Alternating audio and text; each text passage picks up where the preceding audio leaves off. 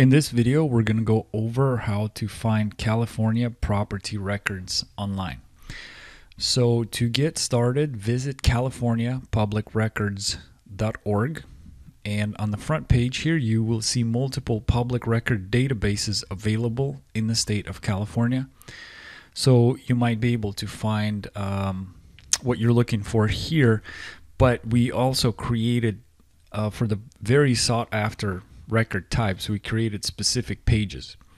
So if you click on other records, anything from background checks to property records to inmate search, uh, and in this case, select property records, and it will take you to the specific page for the property records. So you'll have uh, an option to do a statewide check, but then you also have majority of the counties will also have a county specific database.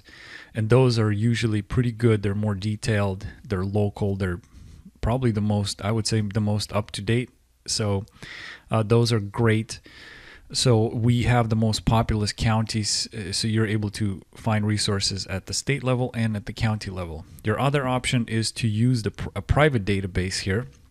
And what the private database does is it doesn't just look at the county or say like the state of California. It goes outside the the state and it and it looks at multiple counties. So if you miss something in one county it might pick it up for you in another.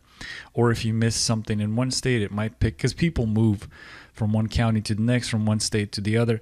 So it kind of gives you like that big picture look. And these private databases give you uh, information that the state databases don't provide say like if you want to find the owner's cell phone number um, or maybe previous addresses maybe their criminal records. So it's got it has multiple databases that it has compiled into a single search. It's instant.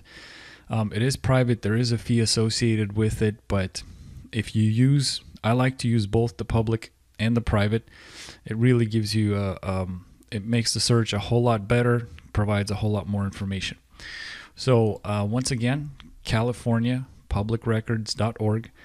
I'll go ahead and drop a link in the description. You can click on that or just type it into your browser. And uh, thanks for listening today.